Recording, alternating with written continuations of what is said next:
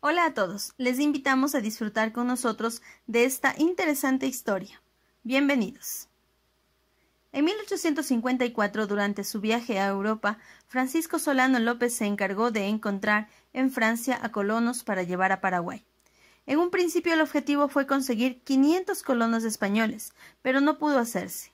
Luego se firmó un contrato con Antonio López, un armador de Bordeaux, por el que se realizaría una emigración de 800 a 900 operarios rurales y algunos artesanos.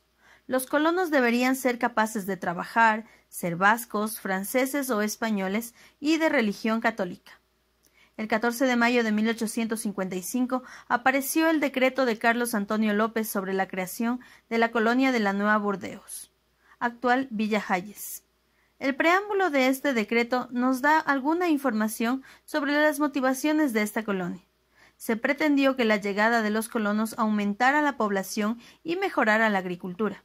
La colonia se estableció junto al Paraguay, unos kilómetros río arriba de Asunción, en un punto del Gran Chaco conocido por el lugar de la antigua reducción del paraguayo don Amancio González Escobar. Los colonos contratados recibirían tierras y herramientas. También recibirían habitación y animales, cuyo coste deberían abonar posteriormente junto con el del pasaje desde Europa. Además, se decretaba que para la seguridad de la colonia ésta contaría con una guarnición del ejército.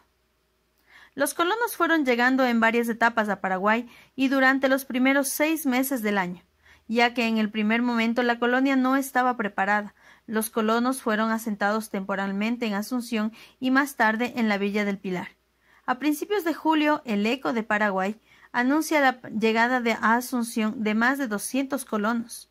A finales de julio, Francisco Solano López fue invitado por los colonos de Nueva Burdeos para que celebrara su cumpleaños.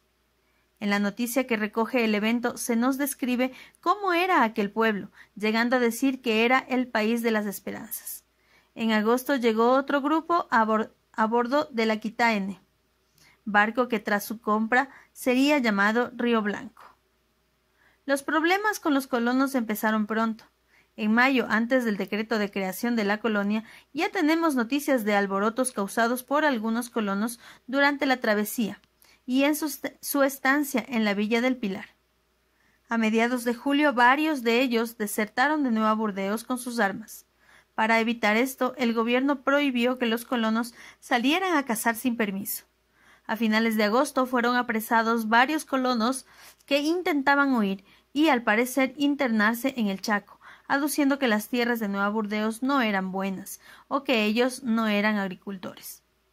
A estos ya ex colonos se les permitió abandonar la colonia y se les reasentó en otros puntos del país.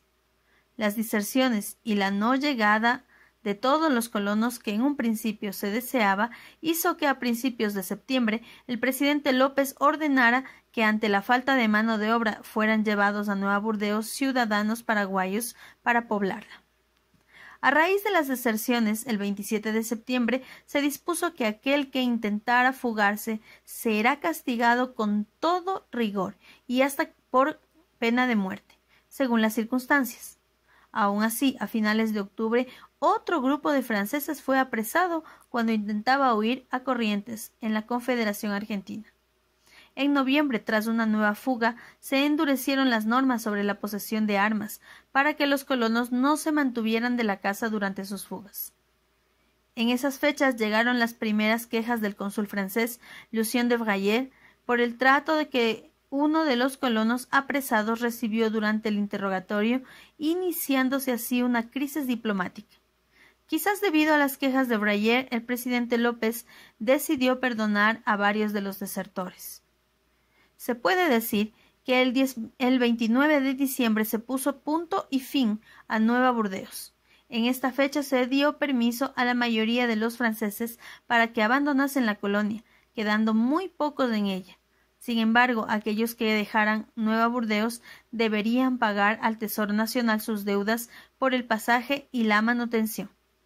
Para que esto sucediera, se decretó en febrero de 1856 que se diera ocupación a los ex colonos que se encontraban en Asunción para que así pudieran pagar sus deudas con parte de su sueldo. A pesar de ello, muchos excolonos que, para no pagar su deuda, rechazaban esos trabajos. El gobierno, para evitar altercados con ellos, en junio les perdonó las deudas para facilitar así que salieran del país. En esta decisión debió influir la mediación de Tomás Guido, ministro plenipotenciado de la Confederación Argentina, recientemente llegado a Paraguay. Muchos de los franceses que en un principio querían volver a su país acabaron dispersándose por la Confederación Argentina. La crisis diplomática franco-paraguaya siguió con el sucesor de Bacayer, Armand de Brossard, al punto de que Napoleón III consideró intervenir militarmente en Paraguay. Solamente en febrero de 1858, cuando Paraguay indemnizó a Francia y a sus ciudadanos, cesaron los rumores de intervención naval francesa. La indemnización a los excolonos se debió al pago de las deudas que algunos de ellos realizaron antes de que dichas deudas fueran condonadas por el presidente López. La indemnización a Francia tenía su origen en los gastos de este país para socorrer a sus nacionales y de los transportes para sacarlos del Paraguay. Si te gustó el video, dale like, suscríbete, comparte y comenta con tu opinión o cualquier sugerencia.